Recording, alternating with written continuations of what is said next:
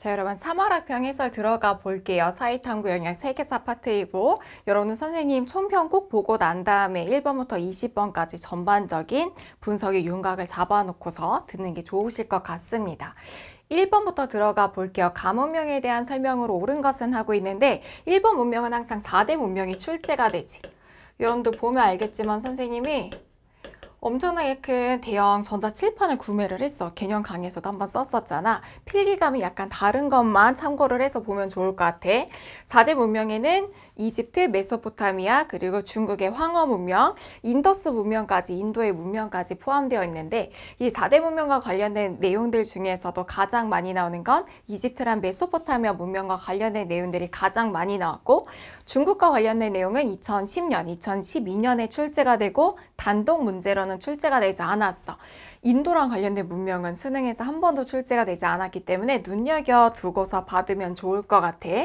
자, 가문명에 대한 설명 내용들을 봤는데 오늘 교과 융합 수업이라고 되어 있잖아. 굉장히 특징적인 부분이 역사 교사와 수학 교사가 피라미드를 두고 같이 설명하고 있는 모습이 나오고 있지.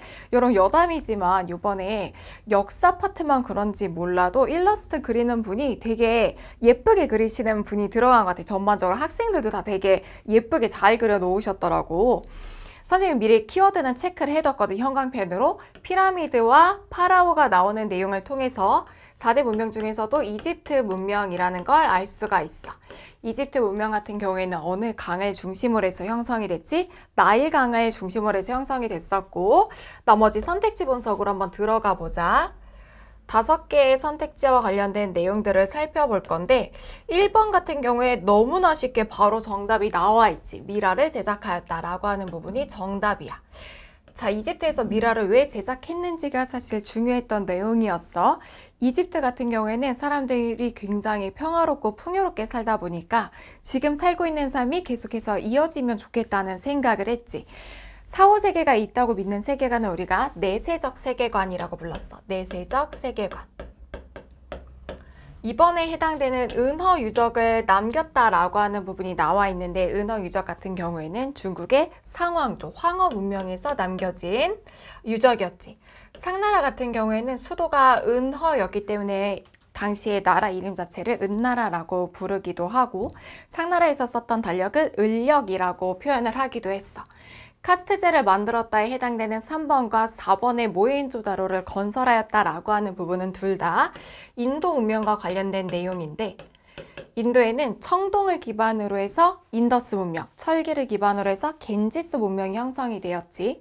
그 중에서 3번에 해당되는 카스트 제도와 관련된 내용은 겐지스 문명에서 볼 수 있는 모습이고 모헨조다로를 건설하였다라던가 아니면 하라파 같은 내용들도 나올 수 있는데 이런 내용들이 봐도 인더스 문명에서 나올 수 있는 내용들이었어.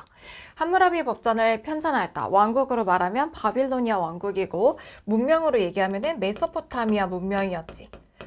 메소포타미아 문명 같은 경우에는 개방적인 지형이었기 때문에 외부로부터 사람들이 굉장히 많이 이주해서 들어왔고 이 이주해서 오는 사람들의 교역들도 뭐 굉장히 많이 있기 때문에 일찍이 분쟁이 많아서 성문법이 발전했다라고 했던 내용을 생각을 하면 좋을 것 같아.